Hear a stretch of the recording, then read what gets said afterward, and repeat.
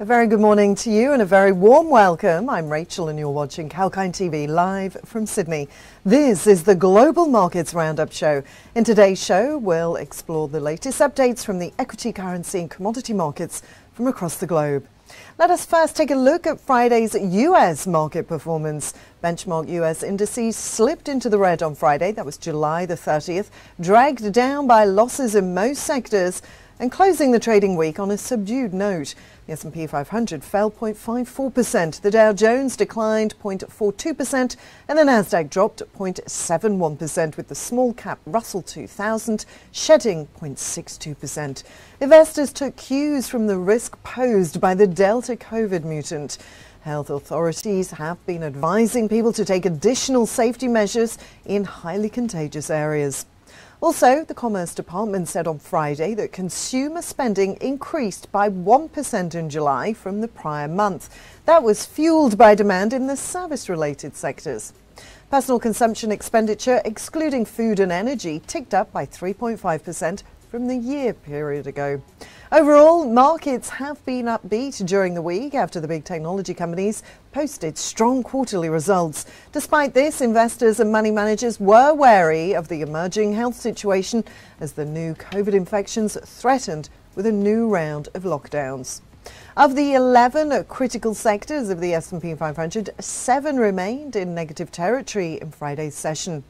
Real estate and healthcare stocks were the top movers, while energy and consumer discretionary pulled stocks back. Let us look at some other newsmakers now. According to Refinitiv data, more than 91% of the S&P 500 companies that have already reported their quarterly earnings topped the analysts' estimates. Image sharing and social media service Pinterest revenue surged 125% year on year to 613 million US dollars for the quarter ending the 30th of June, topping analyst forecasts. However, its stock did fall more than 18% at the market close after it said its subscriber numbers had declined during the reporting period.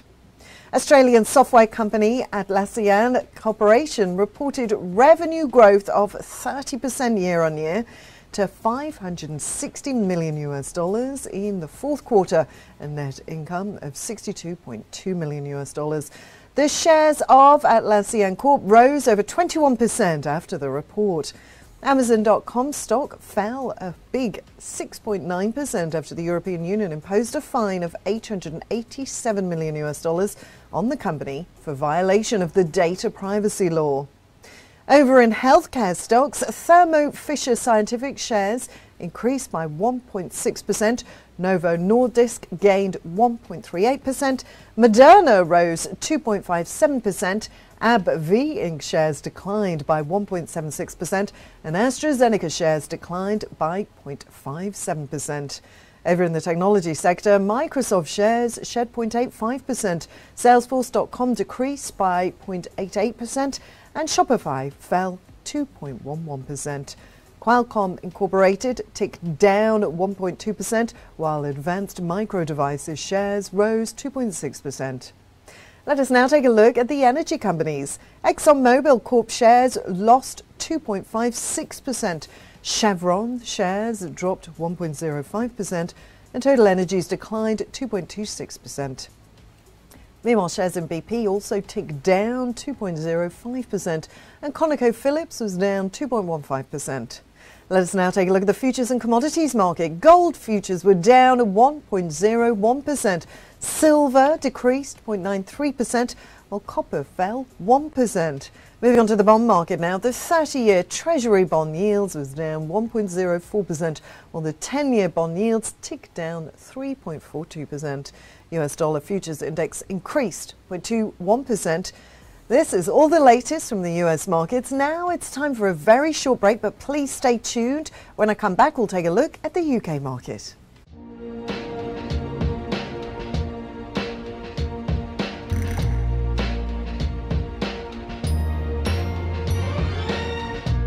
Crypto talk by Kalkine. The crypto market has been red hot given the Bitcoin rally since the past year.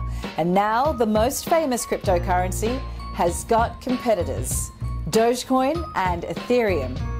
If the crypto market excites you, tune in with me, Sage, to know the latest developments about the existing digital currencies and the new ones that are joining the race. I'll help you understand the opportunities and the risks the crypto market has in store for you. For all the digital currency related developments, continue watching Crypto Talk by Kalkine.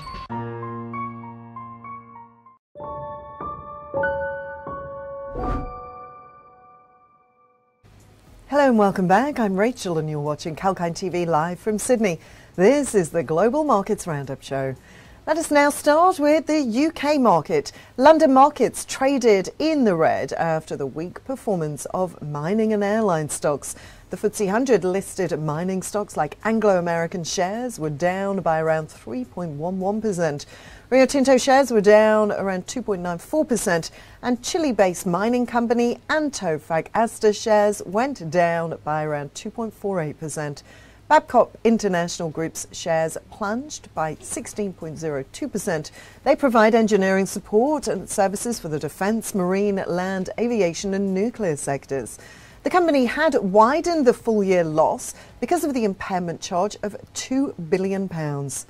State owned British banking and insurance holding company, the NatWest Group, saw their shares drop by around 1.22%. That's even after the company resumed dividend payments and announced a share buyback program. The Intertek Group, a group of safety experts and testing labs, had shown a decent increase in the first half profits. However, their shares fell by around 7.29%. Anglo-Spanish multinational airline holding company International Consolidated Airlines Group their shares plunged around 7.56%, and that's even after the company narrowed down the operating loss for the first half of the current financial year. However, the company remains cautious regarding the COVID 19 uncertainty. This is how the UK market performed on Friday. It's time now for a very short break. But after the break, we'll be back to look at the Australian stock market. So stay tuned to Kalkine TV.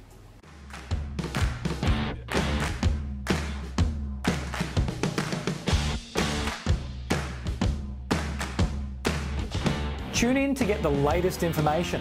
Whether it's about market movements or the currency graph, sectoral coverage or industry news. We cover it all on our news segments. Be on top of the latest news with Kalkine TV.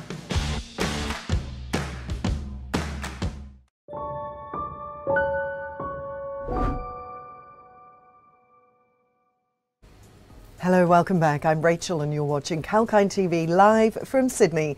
This is the Global Markets Roundup show. Let us now look at the Australian share market performance. The ASX 200 is on the positive side so far today. That's despite Wall Street closing lower in the previous session. Domestic investors will no doubt be closely tracking the Reserve Bank of Australia's monetary policy meeting and company earnings scheduled for this week. Australia's central bank may withdraw its decision to taper bond buying program as if Sydney remains in a coronavirus lockdown, according to economists. The central bank had earlier said in June that it would reduce its debt purchases from September due to better than expected economic outcomes. Crude oil prices rose on the expectation of demand growing faster than supply. September's Brent crude futures, which expired on Friday, rose 0.4%. US West Texas Intermediate crude futures rose 0.5%. Stocks of major energy companies such as Santos and Woodside Petroleum could trade higher today. Gold miners, including Newcrest Mining and Northern Star Resources, could trade lower on Monday. The output cuts by Chinese steel firms resulted in iron ore prices sinking lower. The iron ore prices fell further by 7.5%. That's all from me for now, but stay tuned with Kalkine TV for more live market updates. We'll be back with more news on the markets, economy, diverse themes and sectors, and also some very interesting business interviews. I'm Rachel, signing off for now.